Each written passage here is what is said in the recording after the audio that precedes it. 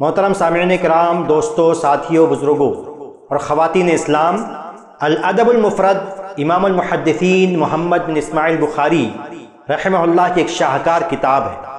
ये इस्लामी अखलाक व आदाब का एक इंसाइक्लोपीडिया है। ये हर मुसलमान, मर्द औरत की ज़रूरत है, फ़र्द और समाज की अखलाकी तरबियत के लिए, एक अच्छा मुसलमान बनने के लिए, आपसी ताल्लुक़ात को बेहतर बनाने के लिए आइए इस कोर्स में शिरकत करें और अपनी ज़िंदगी को इस्लामी अखलाक का नमूना बनाएँ।